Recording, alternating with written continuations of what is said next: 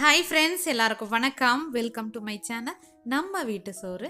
இன்றைக்கி இந்த வீடியோ பதிவில் ஹெல்தியான ஸ்நாக்ஸ் ஒன்று பார்க்க போகிறோம் ரொம்ப குயிக்காக செய்யக்கூடியது. கடையில் நம்ம கண்டிப்பாக வாங்கி சாப்பிட்ருப்போம் அதை அதே டைப்பில் அதே மாதிரி டேஸ்ட்டில் வீட்டில் எப்படி செய்யறது தான் பார்க்க போகிறோம் இதுக்கு பார்த்தீங்கன்னா நான் மிளகா பஜ்ஜி செய்யறது தான் சொல்ல போகிறேன் மிளகா பஜ்ஜிக்கு நான் இதே கப்பில் ஒரு கப்பு நல்லா நிறச்சேன். கடலை மாவு எடுத்திருக்கேன். அது கூட பார்த்தீங்கன்னா ஒரு கால் கப் அளவுக்கு அரிசி மாவு சேர்த்துக்கோங்க. இது ரெண்டுத்தையும் கூட சேர்த்துட்டு இன்னும் சில பொருட்கள் சேர்க்கலாம். இது பார்த்தீங்கன்னா கொஞ்சமாக சோம்பு அப்புறம் ஒரு அரை ஸ்பூன் அளவுக்கு சீரகம். இது ரெண்டுத்தையும் நல்லா தட்டி போட்டிருக்கேன். உங்ககிட்ட பவுடராக இருந்தால் கூட நீங்கள் சேர்த்துக்கோங்க. மிளகாத்தூள் நான் வீட்டு மிளகாத்தூள் தான் சேர்த்துருக்கேன். காஷ்மீர் மிளகா இருந்தால் நீங்கள் தாராளமாக சேர்த்துக்கலாம். அடுத்ததான் முக்கியம் பார்த்தீங்கன்னா அப்போ சோடா மாவு. நம்ம சோடா மாவுன்னு சொல்லுவோம் அது கொஞ்சம் சேர்த்துக்கோங்க. கலருக்காக கேசரி பவுடர் சேர்த்துக்கலாம். ஒருவேளை நீங்கள் காஷ்மீரி அந்த மிளகாத்தூள் சேர்க்குறீங்க அப்படின்னா இது கூட தேவையில்லை.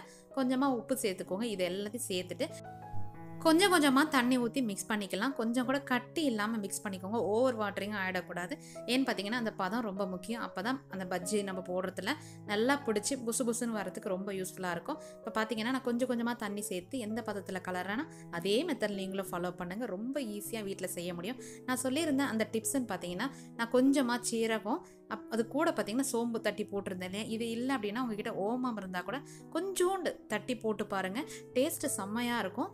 அது இல்லாமல் வாசமும் நல்லா இருக்கிறதால கடையில் இருக்கிற மாதிரி சூப்பராக உங்களுக்கு வரும். ஒருவேளை நீங்கள் கேசரி பவுடர் நான் சேர்க்க விரும்பலை அப்படின்னா ஆப்ஷனல் தான். அதுக்கு பதிலாக நீங்கள் காஷ்மீரி சில்லி பவுடரை சேர்த்துக்கலாம். நான் மிளகா இருக்கு இல்லையா இது எல்லாத்தையும் எடுத்துகிட்டு நீங்கள் அப்படியே முழுசாக போட்டிங்கன்னு பொழுது காரம் ரொம்பவே இருக்கும். அந்த விதை பகுதியில் தான் காரம் அதிகமாக இருக்கிறதால அதை நம்ம ரிமூவ் பண்ணிடணும். அந்த விதையெல்லாம் எடுத்துட்டு நான் ஒவ்வொன்றா உங்களுக்கு கட் பண்ணி காட்டுறேன் பாருங்கள் அந்த உள்ளே இருக்கிற நார் பகுதியோடு சேர்த்து அந்த விதையும் நம்ம எடுத்துடணும். நம்ம வாங்கியிருக்க மிளகா வந்து நல்லா நீல நீளமாக இருக்கிறதால ஒன்றா போட்டோம் அப்படின்னா கொஞ்சம் கஷ்டமாக இருக்கும். உள்ள மசாலாலாம் போகாது. நான் ரெண்டு சரிப்பாதியாக அந்த காம்பு பகுதியும் சரிப்பாதியாகவே கட் பண்ணி வச்சுருக்கேன். ஒன்றே ஒன்று முழுசாக வச்சுருக்கேன். சின்னதாக இருந்ததால் மற்றபடி எல்லாமே கட் பண்ணி வச்சுருக்கேன். இந்த டிப்ஸை நீங்கள் ஃபாலோ பண்ணிக்கோங்க. விதை நீங்கள் எடுத்துட்டீங்க அப்படின்னா நம்ம வாழைக்காய் பஜ்ஜி எப்படி சாப்பிட்றோமோ அதே மாதிரி சாப்பிட்லாம். விதையோடு போட்டிங்க அப்படின்னா குழந்தைங்கலாம் சாப்பிட்றது ரொம்ப கஷ்டம். காரம் கொஞ்சம் கூடுதலாக இருக்கும். இப்போ பார்த்தீங்கன்னா ஒரு பத்து நிமிஷம் அந்த மாவை நான் ஊற வச்சுட்டு அதுக்கப்புறம் நம்ம கட் பண்ணி வச்ச மிளகாயை அதில் போட்டு டிப் பண்ணிவிட்டு எண்ணெயில் போட்டு பொரிச்சு எடுக்க வேண்டியதான் நம்ம ஃபஸ்ட்டு தீ கொஞ்சம் பெருசாக வச்சுக்கோங்க. நல்லா ஹை ஃப்ளேமில் வச்சுட்டு எண்ணெய் நல்லா கொதிக்கட்டும். கொதிச்சதுக்கப்புறம் கொஞ்சமாக ரொம்ப மீடியம் வைக்காதீங்க.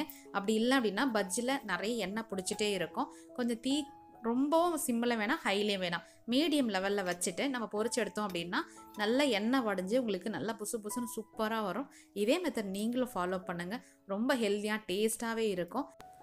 இந்த மாதிரி செய்யும்போது சுட சுட நிறைய வாய்க்குள்ளே போயிடும். அவ்வளோ காலி ஆயிடுச்சு. ஒரு மூணு மட்டும் தான் இருந்தது. அதை தான் உங்களுக்கு டிஸ்ப்ளே பண்ணி காட்டுறேன். கொஞ்சமாக தேங்காய் சட்னியும் அரைச்சிருந்தேன். அதுவும் கொஞ்சமாக இது கூட தூங்கி தொட்டு சாப்பிடும்பொழுது வேறு லெவல் டேஸ்ட்டாக இருக்குங்க. நல்ல ஒரு சில் கிளைமேட்டு மழை பெய்கிற நேரமோ இது மாதிரி நீங்கள் டீ போட்டுட்டு இது மாதிரி நீங்கள் கொடுத்தீங்க அப்படின்னா ரொம்ப சூப்பராக என்ஜாய் பண்ணி சாப்பிடுவாங்க.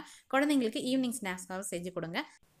இதே மெத்தடில் நீங்கள் உருளைக்கிழங்கோ இல்லை வெங்காயம் வாழைக்காய். சேம் மெத்தட்லேயே ட்ரை பண்ணுங்கள் செம்ம டேஸ்ட்டாக நல்லா அட்டகாசமாக வரும். மசாலா உதிராது. நல்லா சூப்பராக டீ கடையில் எப்படி இருக்கோ அதே மாதிரி வரும். கண்டிப்பாக இந்த வீடியோ உங்களுக்கு பிடிச்சிருந்து அப்படின்னா நம்ம சேனலுக்கு ஒரு லைக் கொடுங்க.